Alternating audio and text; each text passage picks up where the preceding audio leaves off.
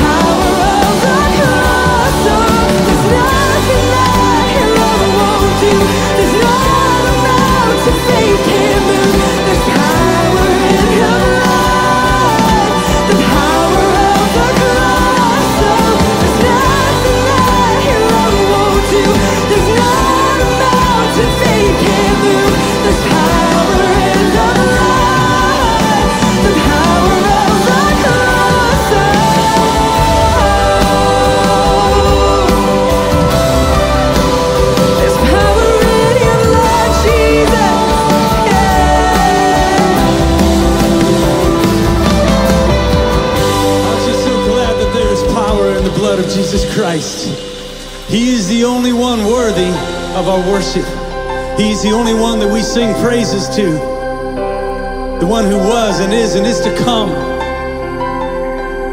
Jesus, our Savior, our Redeemer. All of our hope is found in you, Lord.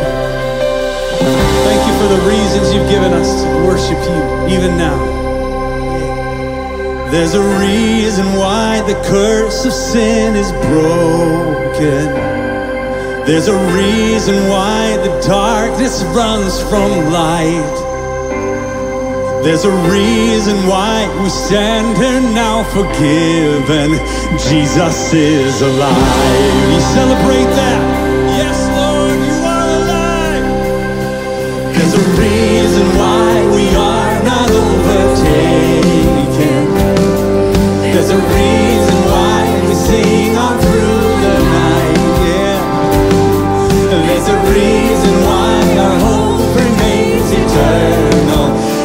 acesa lá.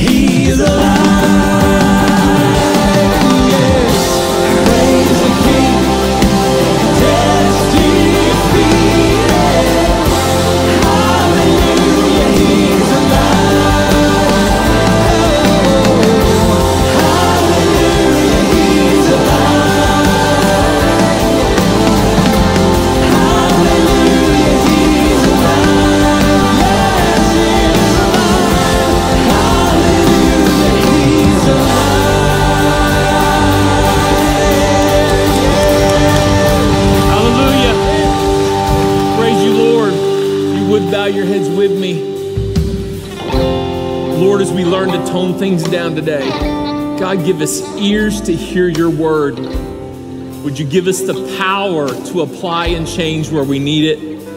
Lord God, again, also we ask that you bless these tithes and offerings that come in in Jesus' name. Amen. Thank you. You can be seated. I'm Tommy Briggs. I'm one of the pastors here at Northwoods. Uh, welcome. I want to go ahead and ask our ushers to come forward. You can begin to take up the offering. If you're a guest, we hope you feel welcome today. So glad you chose to worship with us. Be sure and come back next week. Cal's going to wrap up this marriage and relationship series and teach us how to tune things out that are damaging to our relationships. You don't want to miss it. It'll be a, a great wrap up next weekend. As a reminder, some of you may not know how do I keep up with all the hats going on at Northwoods? There's a lot of activity during the week, even, not just the weekend. So, one of the ways is the website, course, but there's another one you may not be using yet, and that is our phone app. So, if you want to go to your app store, it's free on any smartphone. Download northwoods.church. And on the homepage, there's a button that says featured news. It's updated weekly with all the activities and ministries and programs going on around here. So it's a great way to keep up with everything that's going on.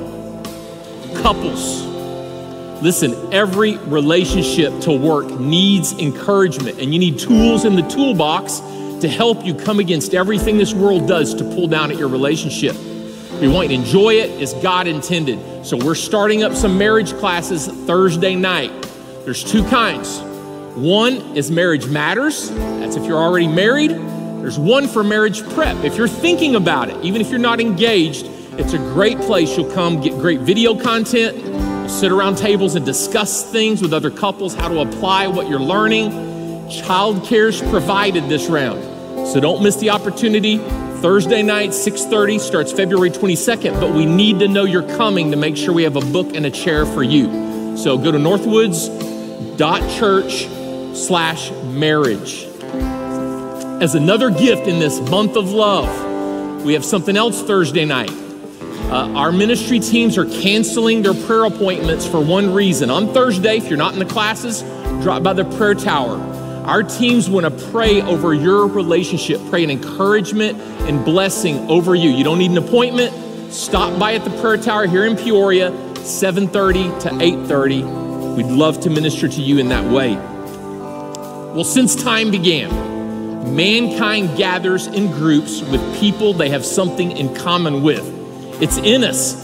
Finding our tribe is what helps us find our place in the world. So you don't want to miss this new series. It kicks off in two weeks, March 3rd. It's called Tribal. So it's not only a message series, but we're also highlighting our four steps, principles and concepts. This is what Northwoods does to help you find your next step in growing as a disciple of Christ. Our leadership here, we believe this is monumental in our church's future. To get strong foundation for the future, we need to build a strong body now, and this is our best way we know how. So don't miss the series. Get involved, find your next step. Speaking of next steps, Pastor Cal wants to help us celebrate some new members today. Right, thank you, Tommy. And, uh, I have the joy today of sharing with you the, the fact that we are adding an element to our services from here on out. Every quarter, we're going to have a moment like this where we acknowledge and celebrate those who have said, I'm going to be a part, an official part of the team at Northwoods. If you were around here when we used to have Wednesday nights, that was kind of where we celebrated new team members, but we haven't really had a place to do that. We said, you know what? We want to highlight this in the service. You know, the mission of Northwoods Community Church is to invite broken world people to experience complete freedom in Christ Jesus. And so we thrill whenever anybody comes alongside and says, That's my mission. I'm going to be one of those inviters. Yeah, well, I still have some broken things in my own life.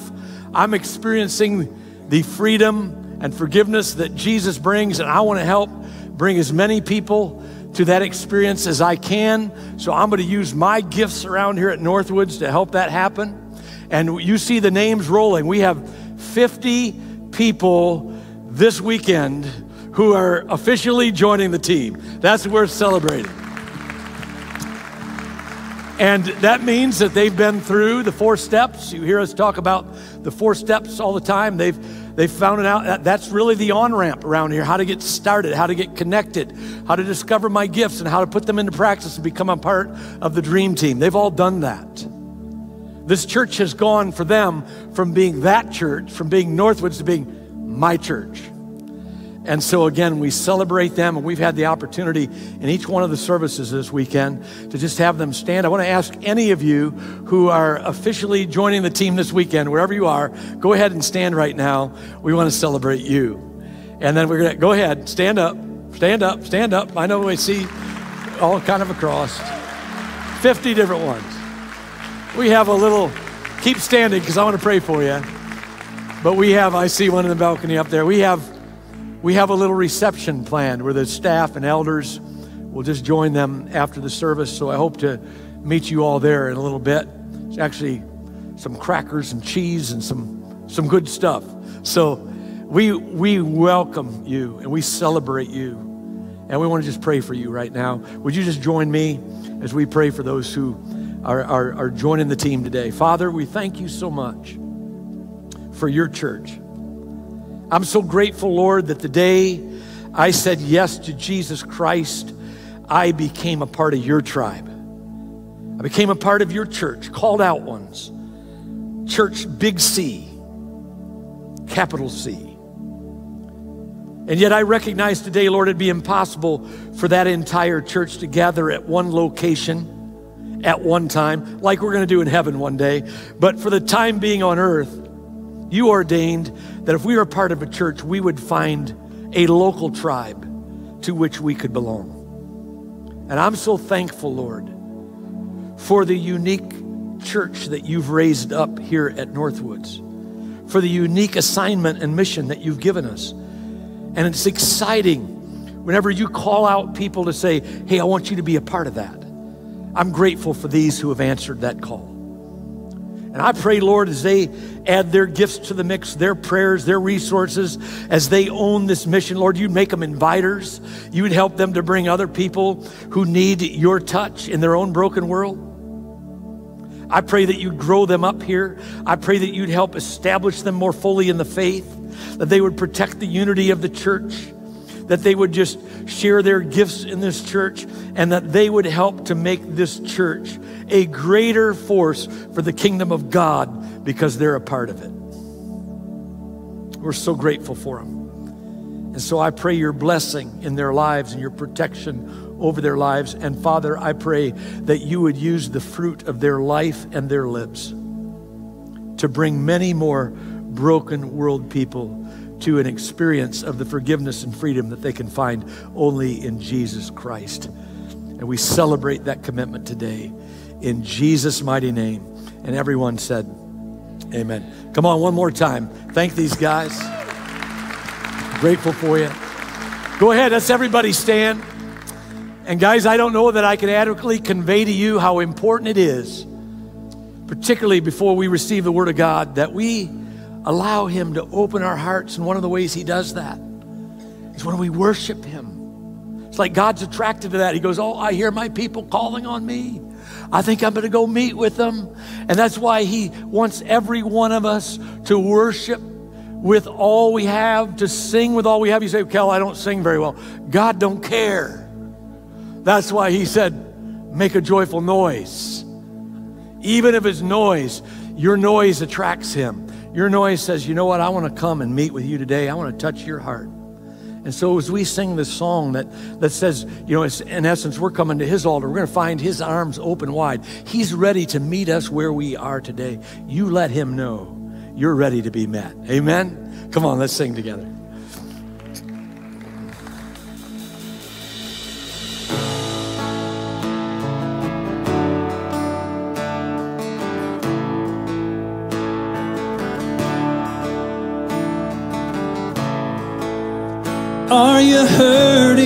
broken within, overwhelmed by the weight of the sin. Jesus is calling. Have you come to the end of yourself? Do you thirst for a drink from the well? Jesus is calling.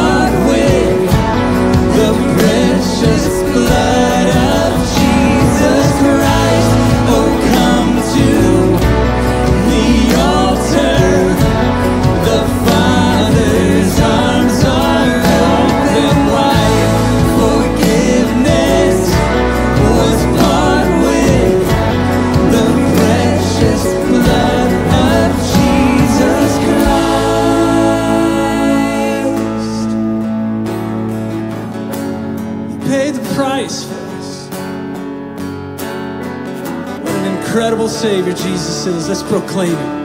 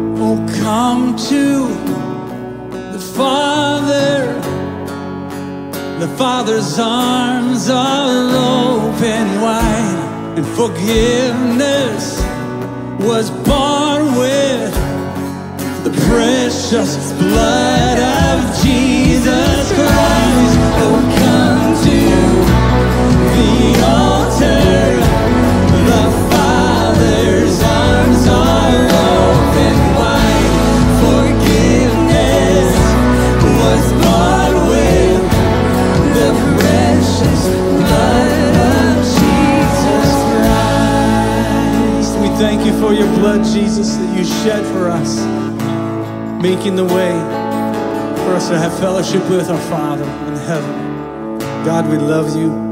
Holy Spirit, we love you. Jesus, we love you. We thank you for the life you've given us today. We pray this in Jesus' name. Amen. Thanks for worshiping.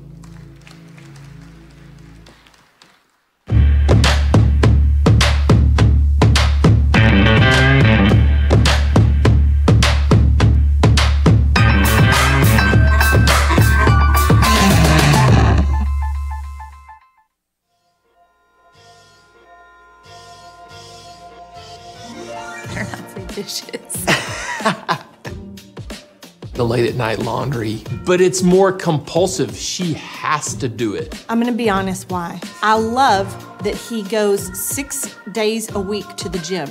I mean, like he's playing full court basketball, so his clothes are sweaty. That's sitting in the basket. She can't take it. Why He's would you so get why would you get a dog?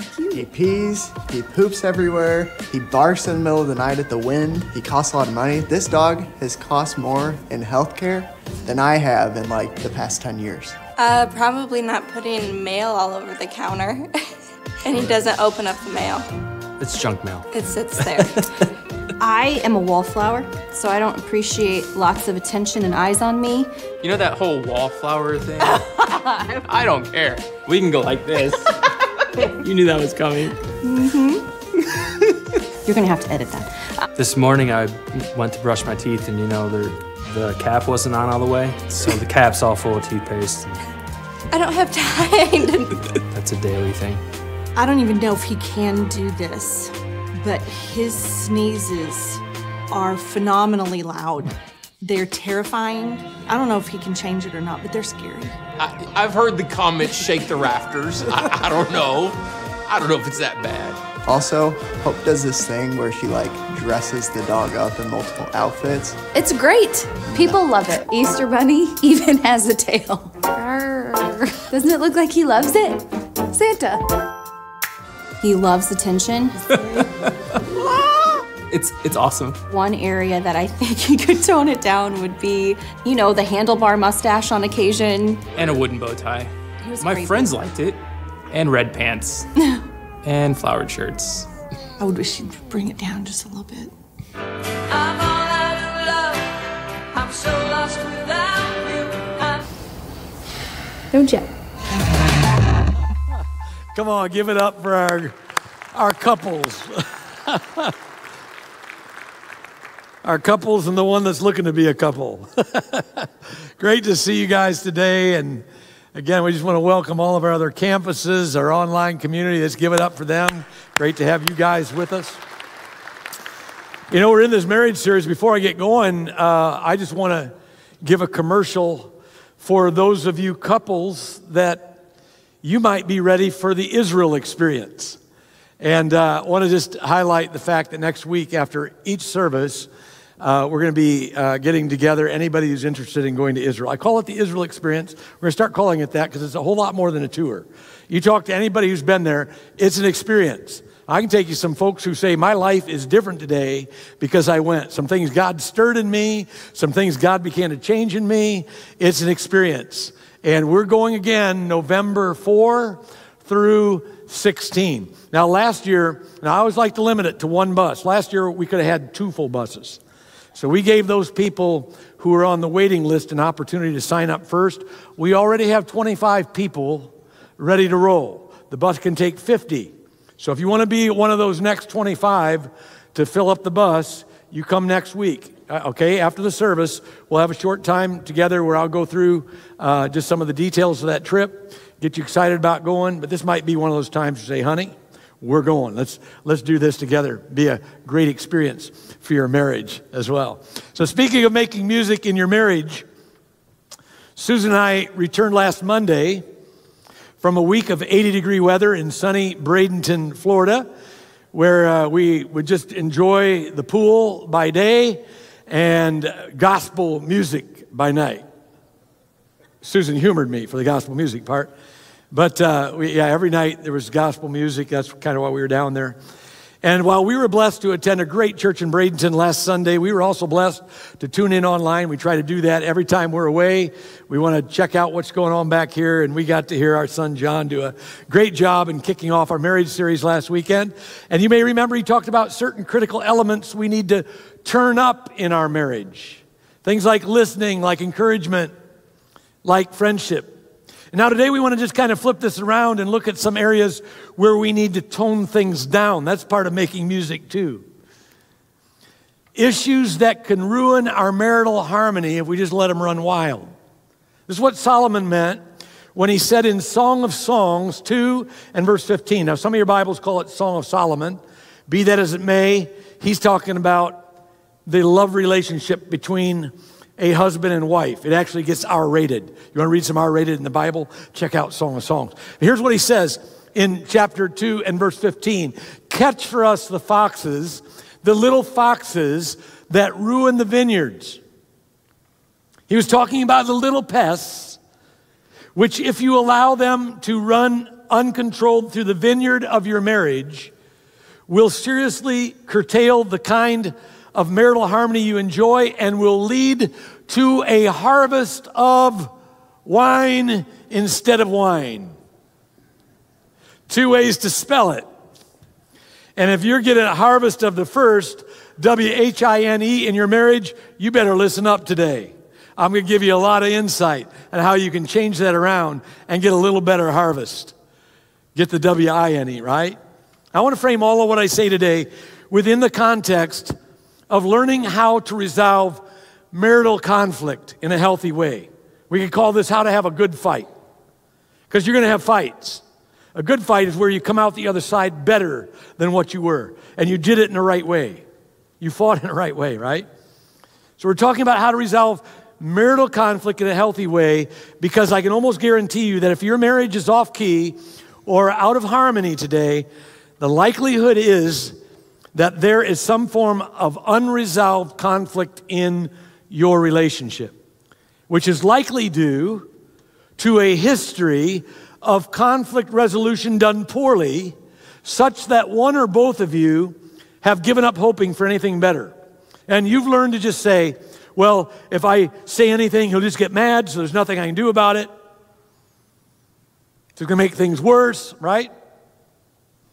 And so we leave these little issues unaddressed. They may not be little, but they're, they're the little foxes that are destroying the vineyards. We leave them unaddressed, in which case, well, God designed us to enjoy the palace in our marital relationship. Many of us are stuck in a prison of despair, or we've fallen into a pit of discord. And by marital palace, I'm, I'm talking about the kind of personal relational harmony that God intended for each one of us, not only in our relationships, but primarily in our marital relationship, where we, we are not only totally aligned with Him, because we're aligned with Him, we're aligned with one another, we have harmony with one, one another, we have peace, we have joy, we are free from accusation because of our heart with your alignment with God, such that we're not touchy about things, we're virtually unoffendable. Are you virtually unoffendable in your relationship with your spouse? Are you easily offended? See? And not only that, but we, we, we just inspire confidence in one another about who God has made us to be and what He's called us to do. That's the marital palace, relationships at their best. And yet, that's something far different than what many experience if they're in a marital pit or prison. And those of you who have been at Northwoods maybe longer than 20 years might remember a concept we talked about quite often around here in the early days, drawn from a book by author Scott Peck, and it was entitled The Different Drum. In it, Peck suggests that God designed us to yearn for open, honest, authentic relationships, or what he called communal relationships and these types of relationships symbolize the palace with all of those things I said about aligned with God, harmony, joy, peace, virtually unoffendable, inspiring confidence in one another. That's what God designed us for. That's the palace. Relationships at their best. But when we experience conflict, many of us opt for what he called he, uh, Peck calls peacekeeping instead of truth telling. And we settle for what he labeled pseudo communal relationships. Pseudo meaning false or fake. It's like we hear a lot about fake news these days. A lot of us learn how to fake it in our relationships. So the pseudo communal relationship is best represented by a prison. God wants us to experience the palace, but because we think in terms of peacekeeping, well, if I say anything, it'll just make it worse. instead of truth telling, we end up in the prison. Now, these types of pseudo communal relationships represent marriages, family relationships, friendships that are strictly surface level. God forbid that anyone should ever say anything unsafe. There's sort of a built in understanding that we're not to discuss misunderstandings, reveal hurt feelings, air our frustrations, or ask difficult questions. The underlying rule in pseudo community is uh, it comes from a song that some of us learned a long time ago Don't rock the boat, don't tip the boat over, right? Remember that song? It's kind of like keep the peace at all costs. That's the rule. Don't disturb the peace. But the problem is that for all of our peacekeeping efforts, it's a false peace. It's pseudo community, false peace. Misunderstandings still arise, they just never get resolved. Feelings are still hurt, they just never get shared. Offenses still occur, they just never get dealt with. Trust still breaks down, it just never gets talked about. And what happens over time, what was designed to be a palace relationship becomes a prison of de- detachment, distrust, and bitterness because you might want to write this down it is the nature of pseudo communal relationships to, to deteriorate over time. They don't get better. You think you're keeping the peace, and really what you're doing is causing the relationship further damage. Secret agendas of hurt and misunderstanding then lead to relational breakdown. Feelings of love begin to die. And guys, it's a sad story today of far too many marriages, family relationships, and friendships. So, what is the answer? How do we move out of the prison or the pit, as the case may be? Because some of you, we're going we're gonna see this today. You, you, you may have been in a palace and You'd say, I don't know that mine's really a prison. Well, maybe you can dig a little hole over here and say, I just feel like we've gotten off base and we've fallen into a pit for a little bit. The question is, how do I get from here or here to here? And I wish I had an easy answer, but I'm going to help you with that today. Peck said the only way is through chaos. We called it for years around here the tunnel of chaos. Some of you remember that term. It's in the tunnel of chaos that hurts get unburied and put on the table. Is in the tunnel of chaos that hostilities get re- revealed, that tough questions get asked, tough conversations are had. It's here we learn to do what Ephesians 4:15 says. Instead, and, and I want you to see this, it, it doesn't say instead keeping a false peace at all costs. It says speaking the truth in love. We will, in all things, grow up into Him who is the head, that is Christ. That's what God wants. He wants us to grow up in our relationship with Him. He wants us to grow up in our relationship with one another. And the way we do that is by speaking the truth in love. And the only way we're going to get from the prison to the palace in our marital relationships is if we learn how to speak the truth in love rather than opting for false peace. And because this tunnel can be so scary and chaotic. It's important that we learn how to tone down those things that keep us from experiencing healthy conflict resolution in our marriages. And so, what I want to do today is I want to give you rules for navigating the tunnel. And those of you who are note takers, get your notes out. I'm going to give you a boatload of stuff. Not all of these may necessarily apply to you, but at least one or two you're going to say, oh boy, I could use that one right there.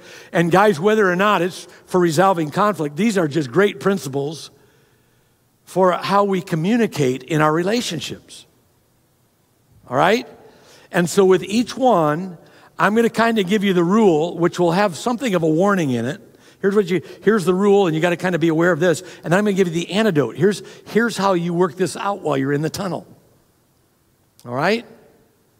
And for some of you, I want to say you may need to do this work with a counselor. How do I know whether I need to go to a counselor? Well, the question is, how long have you been stuck in the prison? Have you tried to get out? And your answer is, well, we just keep going back there. When we do this, we just end up fighting. That's probably an indication that you need a counselor who can be something of a coach in that tunnel so he can help keep you moving forward. And understand, you're, eh, depending on how long you've been in the prison, you're not going to get the palace in one big step. I remember I did this with some leaders a few years ago, and we had to talk at the end of the day about how we felt. And, and it really got kind of like negative. I don't feel like we accomplished anything, blah, blah, blah, blah. And I said, guys, can I explain to you the tunnel of chaos? I feel good about what we did today because we're no longer in the prison. We're not all the way through the tunnel, but we've taken some good steps into the tunnel on the way to the palace. And it just framed a perspective of, you know what, we really are better off today because we're moving towards where we want to be. All right? So, with that understanding, let's look at the rules that can help us. Rule number one tone down accusations and judgments. Really got to do this when we're in that tunnel of chaos. The antidote is rather than accusation and judgments, invite the Holy Spirit to search your own heart, and you should put search your heart first. So critical. I cannot emphasize it enough because ultimately, conflict resolution cannot happen unless at least one of the parties involved wants it to happen bad enough that he or she is willing to quit insisting on their own rights long enough to examine where they might be wrong. Right? Get in a tunnel, it's all about how the other person did me wrong. Kind of like a wife who said, you know, my husband just never acts like he does anything wrong. Oh, no, no, no. I was wrong one time. It's when I thought I was wrong and I found out I wasn't. Now, when, would you like to do business with that guy, right? No, when both parties come into that tunnel just kind of punching and swinging and convinced that they're right, there aren't going to be any breakthroughs because, guys, it's a law of the tunnel. Breakthrough will not happen for us until break up happens in us. And can I tell you which one of those God's most interested in? Oh, he wants to bring the breakthrough. But he really want to help, help, he wants to help a little break up happen in us so that we're not all focused on making accusations and judgments about somebody else. We're saying, Lord, what needs to change in me? This is why David wrote in Psalm 139, 23, and 24. I've given you this verse many times. I pray it every day of my life. Search me, O God, and know my heart. Test me and know my anxious thoughts. See if there is any offensive way in my wife. Would you do that, Lord? It's not what he says, right? That's how we want to pray it. See if there's any offensive way in me. And God, if there is, you get me back on the path. You lead me in the way everlasting.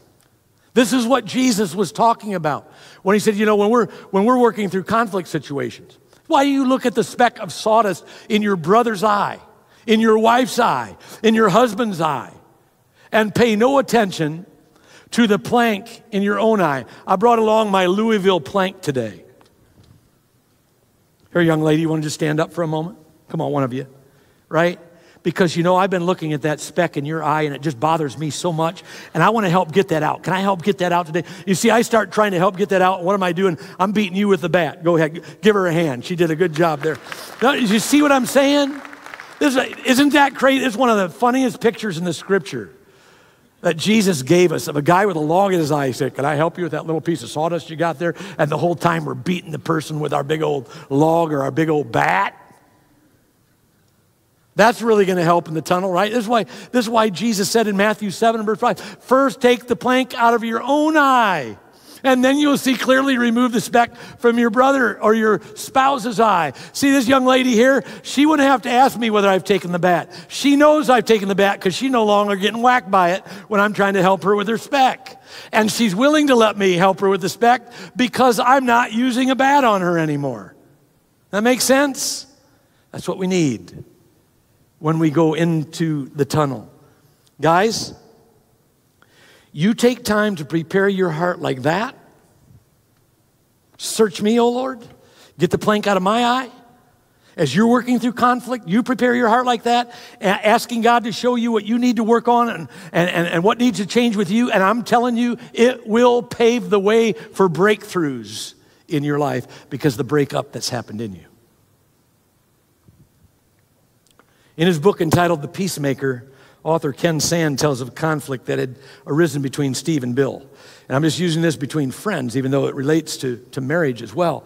But Steve had had his house built by Bill Bill the builder had done some things apparently that were wrong. He wasn't taking responsibility for it. Steve was so upset that even though they were brothers, Steve had him in court, sued him. Bill countersued, which resulted in months of legal, legal discoveries, thousands of dollars in attorney fees. And during a deposition, one of the attorneys finally realized that a contra- what a contradiction he was watching. Two prominent businessmen, both of whom claimed to be Christ followers, growing increasingly bitter and hostile as each continued to justify his own actions and focus on the other's faults. The attorney's concern led him to suggest that the men submit their dispute to Christian conciliation, to which both were initially reluctant but eventually agreed, which meant that sometime later, Steve and Bill met with a panel of Christian conciliators, which included a builder, a businessman, and an attorney. And I want to tell you, every time they would get together, it was just more of the same. It was blaming, it was refusing to take ownership, and, and, and I mean, it was wearing out the conciliators. They just kept working at it. Finally, one day they said, Guys, we got some Bible verses. We think it'd be great if you just get your hearts before the Lord, read through these verses, ask God to search you and this type of thing. And finally, one, one day, Bill began to see that he had not been acting in a God honoring way. He also realized that he was providing his attorney and his family with a terrible example of how a follower of Christ should deal with conflict. And as this insight penetrated his heart, Bill experienced a shattering of his hard heartedness. Break up happened in him, paving the way for breakthrough to happen through him. So you can imagine, it's been months and months and months. We're getting nowhere. Here comes the next meeting. I'm sure the conciliators are going, oh man, more of the same. Here we go, right?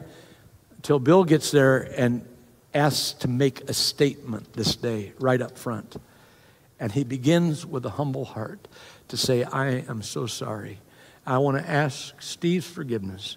I acknowledge that I did some things wrong, and, and here's what I want to do to repair the house. Showed Steve a checklist that he had developed to prevent similar problems in future projects. And can I tell you, something began to happen in Steve's heart because he was no longer get, getting hit by the baseball bat. All of a sudden, Steve's heart breaks. And he says, Bill, you know, this is really more my fault than yours. I'm too much of a perfectionist, and I've been done a terrible job of communicating with you. My wife can tell you how difficult I can be. I think I need your forgiveness more than you need mine. And as you can imagine, the rest of the folks in the room sat there absolutely stunned at what they were witnessing. After months of hostile litigation, weeks of frustrating mediation, the breakthrough had come because one person had been willing to humble himself before God and the person with whom he was experiencing conflict. Bill even went to Steve's wife to apologize for the inconvenience and stress he had caused her, and they too were reconciled. But, guys, what a beautiful example of conflict resolution done God's way. And it's made me wonder how many thousands of dollars could be saved, how many conflicts resolved, how many marriages and families salvaged, how many lawsuits left unfiled, how many attorneys left unemployed, were we simply to learn how to pursue conflict resolution God's way. And that's not to put a dig in on any of you attorneys, okay? We appreciate what you do, but I'm just saying, it all begins when we tone down our accusations and judgments and instead invite the Holy Spirit to search our hearts. Start there if you're going to go in the tunnel. Here's rule number two tone down the voice of conflict avoidance because you're going to hear it every time there's a need to get in the tunnel. It's going to say, Don't go there. It's just going to be worse. You know it. You've tried before. Nothing good is going to happen. It's just going to make things worse. And you're settling for false peace. The antidote is to arrange a face to face meeting as soon as possible. This is exactly what Jesus said in Matthew 18 and verse 15. If your brother, if your wife, if your husband sins against you, hurts you, wounds you in some way, go and show him his fault. Remembering, you've taken the bad out of your eye first. Go show him his fault just between the two of you, which means don't get on the phone and talk to mom about it. Don't go telling the kids, you all see what that idiot did again today. Just between the two of you. Go show him his fault. In other words, as soon as you're aware that there's a conflict that needs to be resolved, arrange a face to face meeting. And guys, we're talking about conflict. This is why you don't do conflict through texting and tweeting and email, face to face, so you can read the eyes and the body language. All right? As soon as you're aware that something's off, as soon as possible, that just means you don't let years go by, months go by of buried hostilities. That's why the Bible says, Ephesians chapter 4 and 26, do not let the sun go down while you are still angry. That is saying, deal with your hurt feelings ASAP, as soon as possible.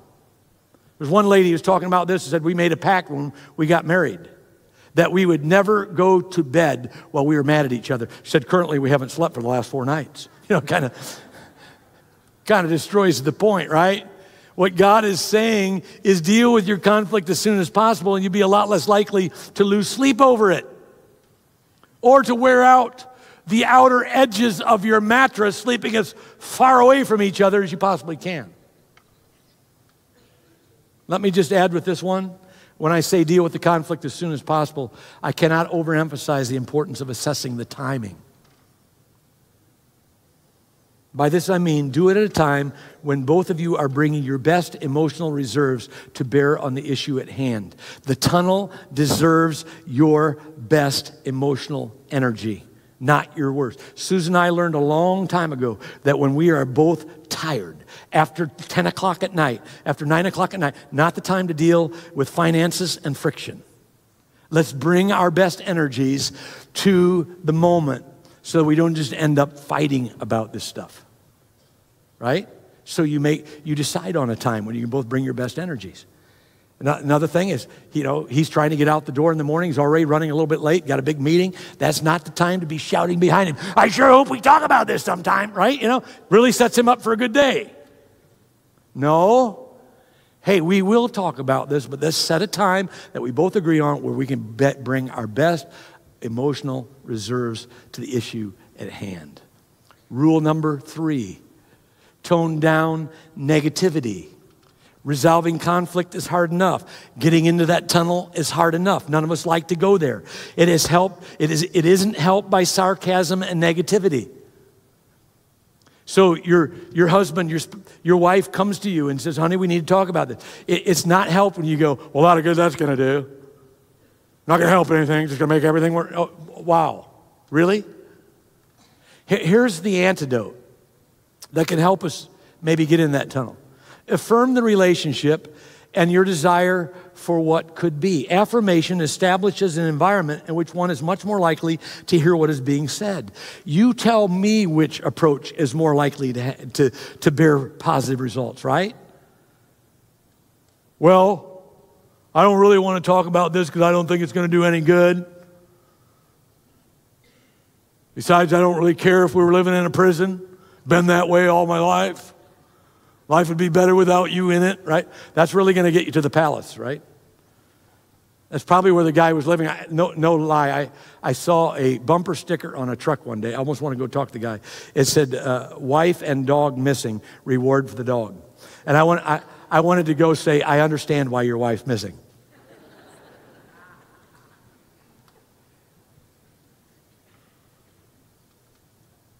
How about approach B?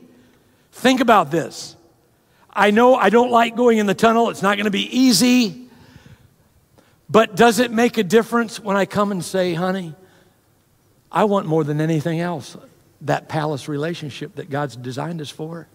And I feel like something's just kind of thrown that off. Can we talk about that? Who isn't going to say, wow, I kind of want that too? Right? You're, you're, affirming the person and, and, and, and the palace that you were designed for and what you want for the relationship.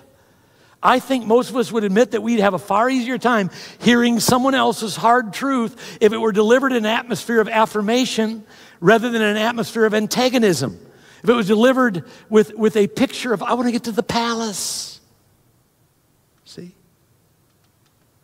And let me say it this way if we can't begin with affirmation, then that's a red flag that we're not prepared for the tunnel. Don't go in there if you can't begin with affirmation. One of the ways you know your heart is prepared properly is if you can begin the process with affirmation. And then let me just add this as you are working on and talking about the issues in the tunnel, toning down negativity means this no pointing out the problems unless you're ready to offer positive solutions. Anybody can tell you about the problems. Boy, that's just like a wet rag on your heart, isn't it? Wow, great. Thanks for giving me the problems. Now, I want to hear positive solutions. You know, you know, honey, when you say that or you do this, this is what it makes me feel like. And we don't just stop there. Here's what I would prefer you do. I'm like, wow, thank you. I'm glad to know that. I can do that. I'm going to work hard at doing that. See, we're giving positive solutions. Rule number four tone down the snowball effect. What do I mean by that? We all do it. The snowball effect is where you allow issue after issue to be rolled into the discussion until you're no longer dealing with the issue you set out to deal with. So let's say my wife wants to deal with something I said or did that hurt her.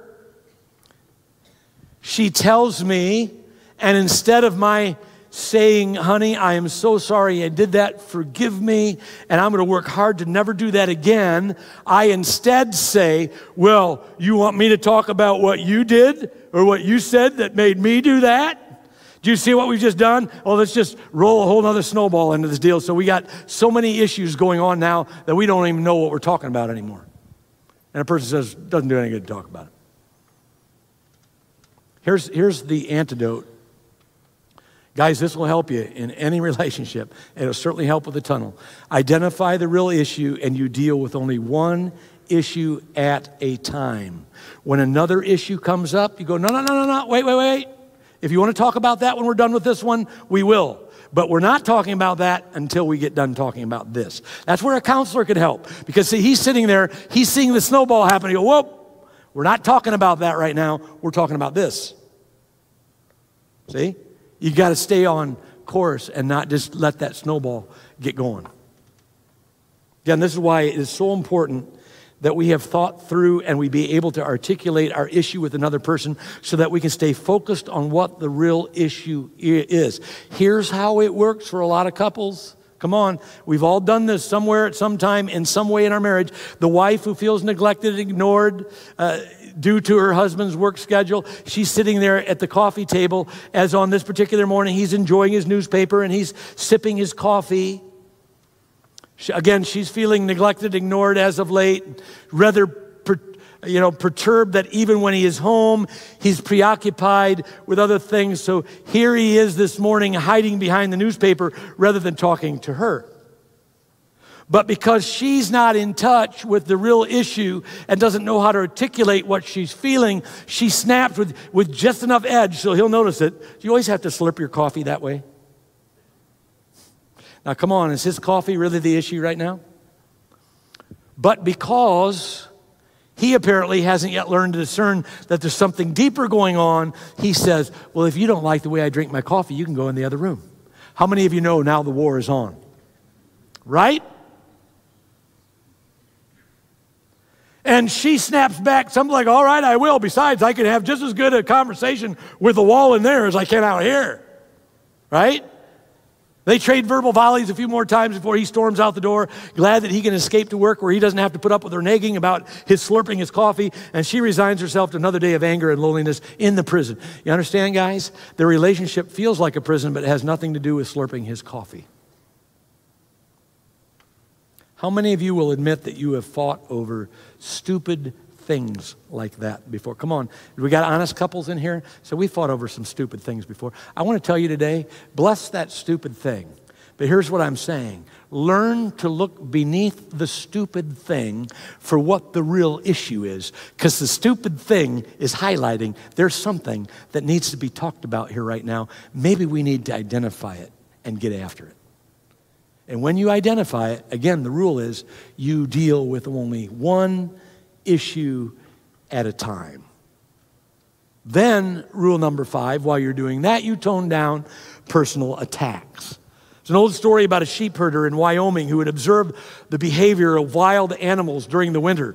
For example, packs of wolves would sometimes sweep into the valley and they would attack these bands of wild horses. And whenever they attacked, these horses would put their heads together in a circle and start kicking outward like this, keeping the wolves away.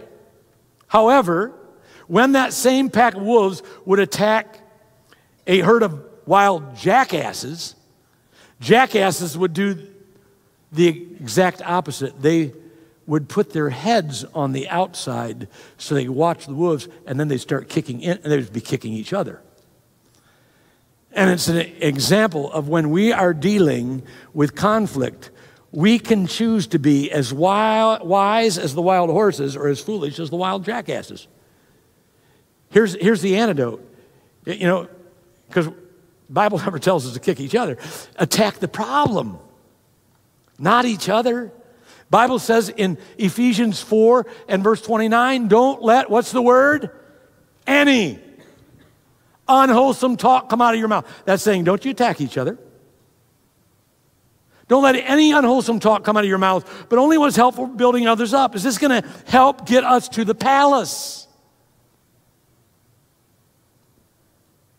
So it's according to their need that it may benefit those who listen. That verse is saying, don't kick each other, attack the problem. And just a couple of tips here with this one, because I know uh, we probably all do it. I, I know getting historical. you know what that means? You know, a guy was saying to the counselor, you know, every time we try to work on an issue, she gets historical. He said, No, you mean hysterical. He said, No, I mean historical. It's like, honey, you remember you did that 15 years ago. Listen, there's no, if, if you've forgiven something, you've talked about it, you settle it, there's no going back and dragging it out. That's getting historical. Doesn't help the relationship, primarily in the tunnel. Secondly, no, you make me mad statements. That's really giving a lot of power to other people.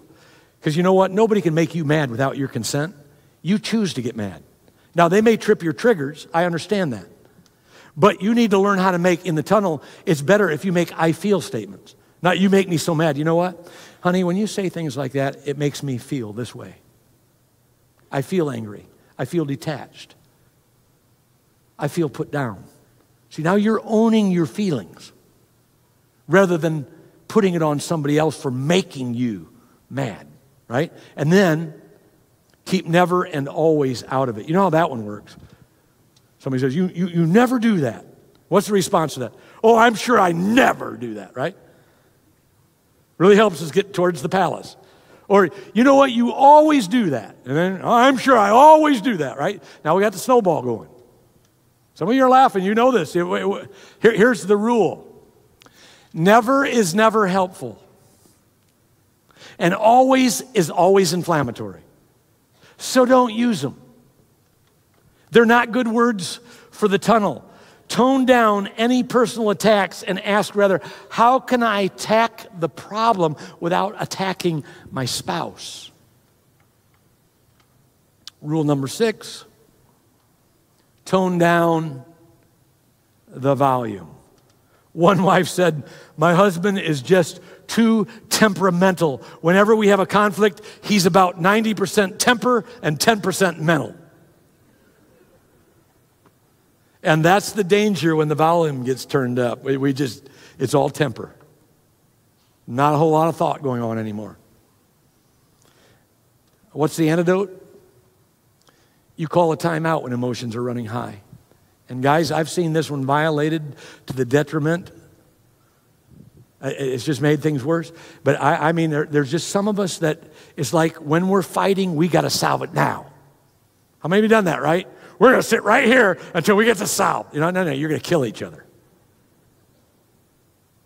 No, you want to you want to be in a place where you're practicing what Proverbs 15:1 says, a gentle answer turns away wrath. So are you in a place where you're giving a gentle answer or you got the emotions worked up so much you guys are fighting now? A gentle answer turns away wrath, but a harsh word stirs up anger. So we're, when we're in that tunnel, the rule is that whenever the volume gets beyond our normal speaking voice, that is a sign that a timeout is warranted. And we either agree to resolve this thing without turning up the heat or the volume, or we agree to come back at a different time when both of us are in a place of emotional stability again. We're not running wild with, with anger and the volume's all ratcheted up. Here's another. Rule number seven tone down one way conversations. Just very quickly uh, on that one, we got to understand that the tunnel can never just be a one way conversation. We always have to be inviting feedback. And I know this is a tough one for a lot of us. We'd love it if we just get in the tunnel. I've heard people almost go in there sometimes going, I'm just so glad I get to go in. I'm going to give them my hard truth, man. And they're going to listen. Kind of like, oh, really? It's all about you getting to spew your stuff and they're just supposed to listen. I thought this was a dialogue. I thought this was more than just a one way conversation because you know what? They may have some hard truth to share with you. Generally, where there's conflict, there's two people involved. And so, if we're going to get away from one way conversations, there has to be a place where we come to a point we say, you know, I want to be aware of anything you feel I might have done to contribute to this problem. Is there anything you need to say to me? And we invite the feedback. More than once, giving someone the opportunity to share their feelings with me has opened my eyes to areas of defect in a relationship that I had no idea I was directly contributing to. So we can't just have it, uh, you know, it's a one way relationship. Let me give you this rule eight and we're, we're finished. And whereas rule number one is probably, you know, when I started up there, say get rid of the, the judgments, the negativity, invite God to search you. This is really the other sandwich. If there's if there's two buns that we're putting the rest of the sandwich together on, it's the number one and number eight that really belong there as the bookends. Rule number eight is tone down quick fix advice giving. It's so easy to just want, again, want to do one big step, just take my advice and we'll be through the tunnel. Nah, the tunnel has some emotion involved in it, some hearts that need to be restored. So here's the deal the antidote is first offer empathetic understanding. And guys, this isn't just, as I said, this isn't just for uh, resolving conflict. This is just a great principle for connecting in relationship anyway. And God had to teach me that again just a few weeks ago. Because I, I, don't know that we ever get done to where we say, oh, I'm just great at this. We, we're always going to have a little bit more to learn. And so, knowing that I was going to be traveling, I knew Susan and I were going to be going to Florida. Next Sunday, we head to uh, another Israel trip where I'm taking the Legacy 5 and about 70 other people on a tr- tour of Israel. So, I'll be gone for another eight, ten days. I just knew I wasn't going to have time for about a five or six week period to get home to see my father. So, on January 31st, I, was, I, I thought I got to make a run, see my dad, because I may not get there until maybe the middle of March or whatever. And so I was headed to Archbold, Ohio, up there on Route 80. My wife was headed to Indianapolis with Catherine. She was going to stay with Catherine's children until I could pick her up on Super Bowl Sunday. Then we were flying to Florida and this type of thing. But we were driving in separate vehicles at separate places across the country when the call came informing Susan that she had the early stages of, of breast cancer. My daughter was calling me, going, Dad, I don't know what to do with her. I've never seen her like this before. And she really didn't want to talk to me either. And I'm getting kind of mad. You know, I, she needs some of my advice right now. Now, guys, understand, I, I talked to Susan about this, that I was going to be sharing this. No way to disparage her. I can't imagine what it's like to get the C word. Some of you have gotten that. You know, can take you into a black hole real quick. That's kind of where Susan was for a moment, for about a day. I talked to her that night. Now, again, I'm, I'm in my, my coaching role, just trying to give her t- you know, tips and techniques for, come on, honey, we got to snap out of this. So I met with my dad the next day, we took him to lunch along with some of my brothers, and I decided, you know what? I think I need to take the long way home and head down through Indianapolis rather than just blowing on home. I think I probably need to stop and see my wife. Way to go, Cal. You're front thinking good. I wasn't sure she wanted me to come, not because she didn't want me to come. She just said, he doesn't need to come, you know. I said, I'm going to be okay. But I'm on my way down there for about two and a half hours. I'm thinking, God, what do I need to, what do I need to do to help get Susan out of this black hole? You know, I want to, I want to, I'm a pastor. I like to give advice, right? About 10 minutes away from getting to my daughter's house, and I, you know, had one of those moments, another God moment that I'll never forget. I was talking with one of my elders on the phone. We talked about a number of things, and before we hung up, he said, Can I pray for you?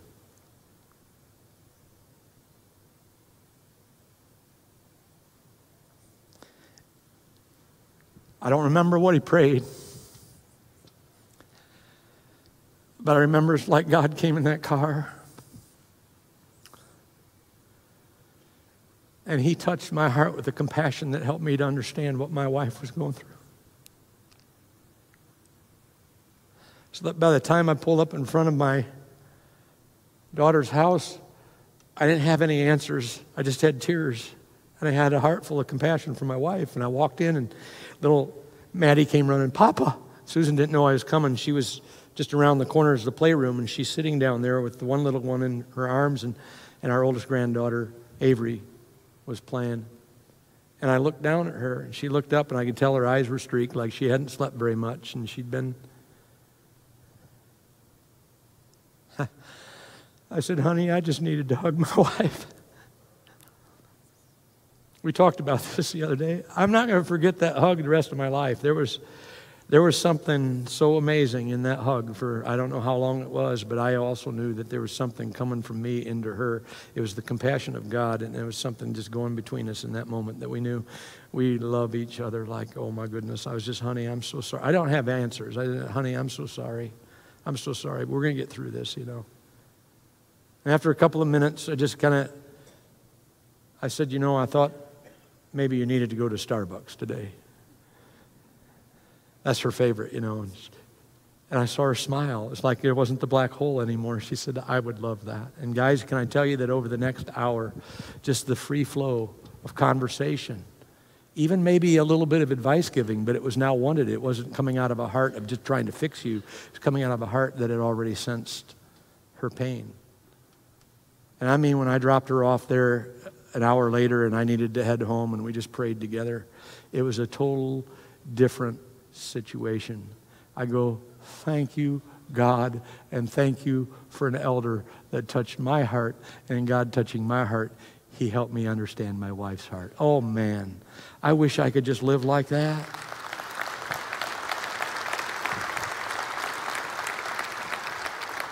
And I was like, God, would you help me learn how to lead more from the heart instead of always from the head in my relationships, primarily in my marriage relationship?